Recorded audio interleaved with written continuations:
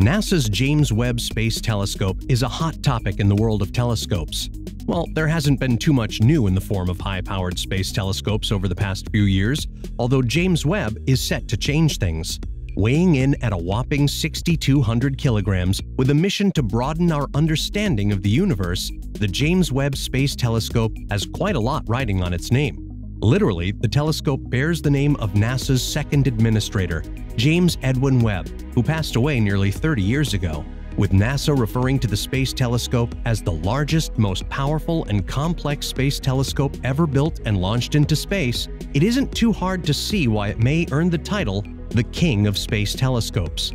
However, we haven't even mentioned anything specific about James Webb. So you may be asking yourself, what exactly will it do? What can we expect to find from its launch? Luckily, those questions are ones that we're here to answer. So buckle into your seats as we telescope into space and ask, is James Webb the king of space telescopes? Well, to answer that question, we'll have to start at the beginning of the project in 1996. With an estimated launch date in 2007 and a half billion dollar budget, the James Webb Space Telescope, or as we're going to refer to it from now on, the JWST or Webb, was an enormous project at the time. After all, the Hubble Space Telescope, the current leader in high-tech space telescopes, had just launched six years prior. Interestingly, Hubble had a similarly sized $400 million budget before booming to an otherworldly $4.7 billion. Nonetheless, that should give a pretty quick comparison of just how big NASA expected the JWST to be. However, several delays and a few cuts to NASA's budget later brought about 2005 and a new redesign.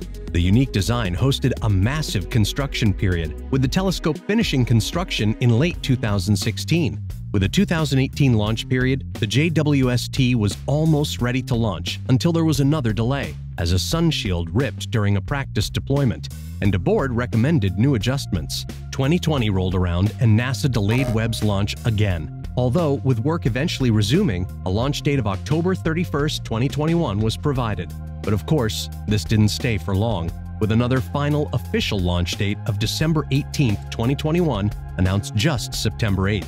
Over the years, we've grown accustomed to hearing about how great the JWST will be and when it will launch. Fortunately, while the launch date continues to change, Webb itself hasn't. Well, not too much. This mammoth Northrop Grumman engineered telescope is truly a masterpiece. We've had virtually no experience with something of its power, size, and capabilities. That's even including Hubble, which looks to be running pretty far behind. Well, if you could even compare the two, the JWST and Hubble are two different beasts of a different caliber. While Hubble essentially holds its own as the world's most incredible visual space telescope, the JWST is entirely different. That's right, it's an infrared and ultraviolet telescope. While Hubble studies parts of space that we can see, Webb can see further. Well, in a sense that it can see further across the EM spectrum than we can. That means it'll be able to see things that we've never been able to see, especially those that are invisible to humans.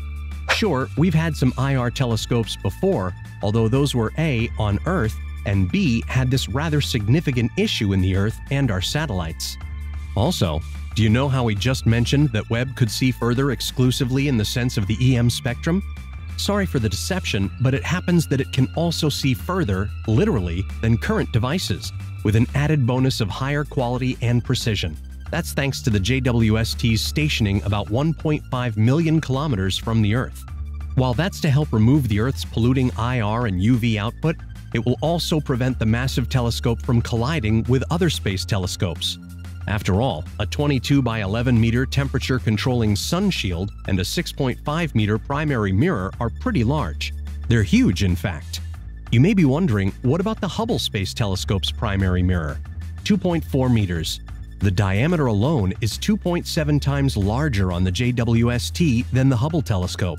With this extra mirror space, NASA will view dimmer objects with a higher resolution and greater accuracy further away as Webb will reflect a more significant area and focus on further things, it'll be much more accurate than current telescopes.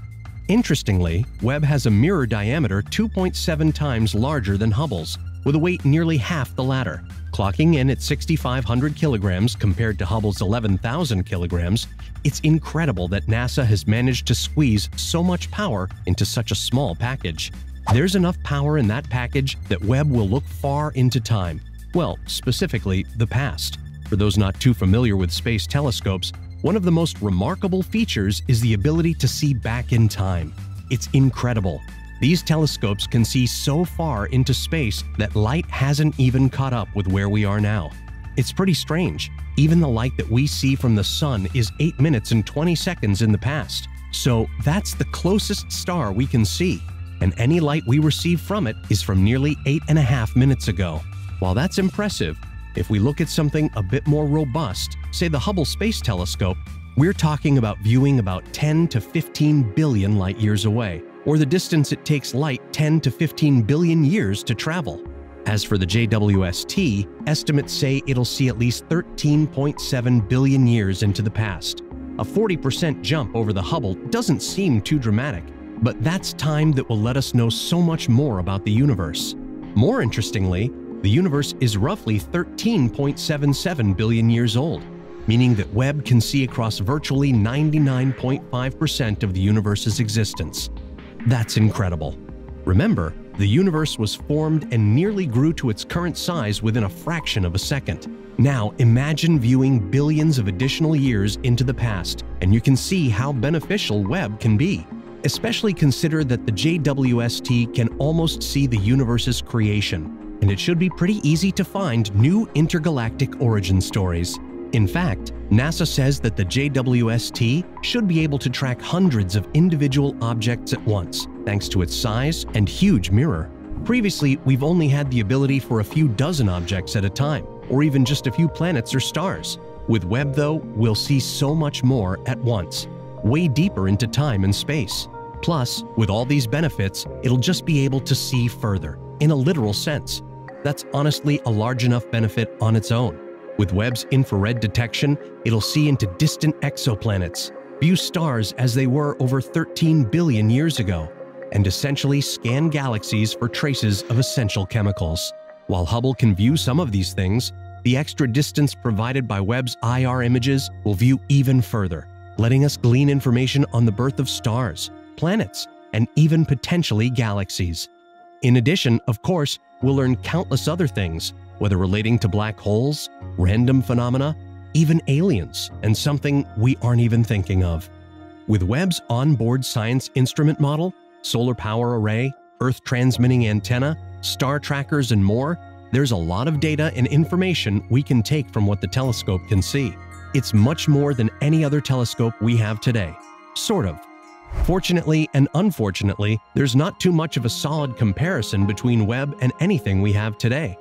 The Hubble Space Telescope is the best orbiting comparison, but it's nowhere near the size, power, or even wavelength of the JWST.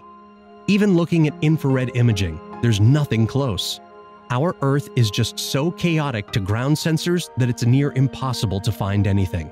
Remember, Webb will sit 1.5 million kilometers from the Earth, have a massive 6.5 meter primary mirror, use infrared and ultraviolet wavelengths, and see nearly 14 billion years into the past. We don't have any established observatories that far away from Earth, primary mirrors currently operating near that size, anything even using IR and UV, and that can see that far into the past. While, of course, the James Webb Space Telescope isn't an end-all be-all for space telescopes, it's undoubtedly much closer to one than we've ever been before. If its launch and mission work successfully, you can bet that we're going to find a few new things across the universe that we've never seen before.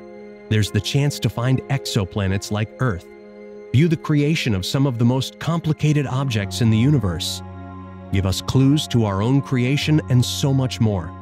So with that in mind, James Webb is the king of space telescopes. It's not even close. It doesn't make a difference whether you're comparing Webb to current telescopes, current Earth operations, or specs and designs. The JWST is so different from anything we currently have that it will shame any existing space telescope. Well, unless you like pretty visual pictures, as that's something Hubble does better than Webb. And so, what do you all think? Is James Webb the king of space telescopes? While many other space-intrigued people and we believe so, it's understandable if you disagree. There's the potential addition of Starship as a massive telescope, and who knows what else is in the works. Let us know your thoughts in the comments below, and make sure to check back for more news before Webb's launch in December.